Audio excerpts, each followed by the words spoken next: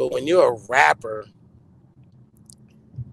and I rap a lot about pimping hoes and stuff like that. And if I go to some Too Short fans, not all of them, and I go, "Hey, did you know that I'm really I'm really a musician who writes songs and I don't actually pimp hoes on the street. And I really when I when I get off stage, I don't call all the women backstage bitches.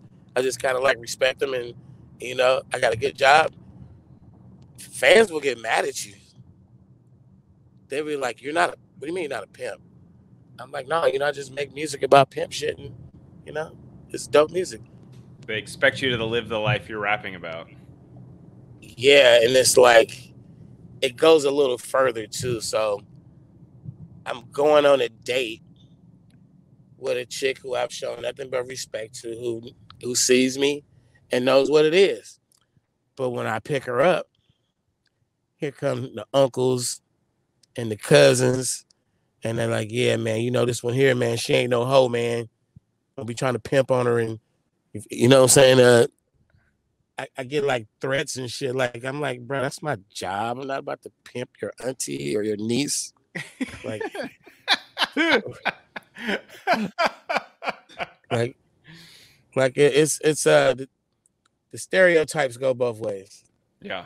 Do you find it exhausting though to feel like you know, especially being in the music game, which is uh, it's not an old or young game, but just to stay, you know, to stay fresh, to stay relevant, to kind of you know, obviously your demographic, you're an OG, you you know, you're one of the West Coast pioneers, but is it exhausting trying to stay fresh or new or trying to be keep relevant with music today? Or can you just kind of do your own thing?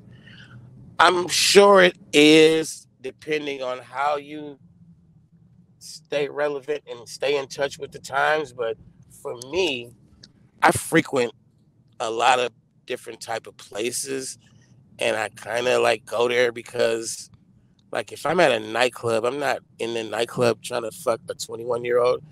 I'm probably at the club just trying to see what's the hottest songs, what's the DJ playing, how do they dance, what's the new tempo, what's the bounce, what's the you know, just yeah. what the vibe is, what what do people look like, clothes wise and shit, like what's what's changing and what's staying the same, and just and just kind of like being in tune with the now and not stuck in in the sure. moment where where I was the hottest in 1996 and I'm gonna freeze frame everything I do in 1996 because that was the moment.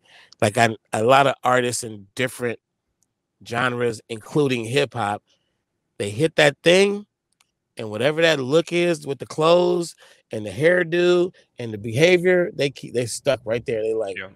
I'm wearing this rock and roll hair forever. I'm wearing these fucking whatever it is, braids, whatever it is, and, and it's like I'm not like that. I'm like, what's the new hot shit? Let's go. Yeah, I'm with I'm with that.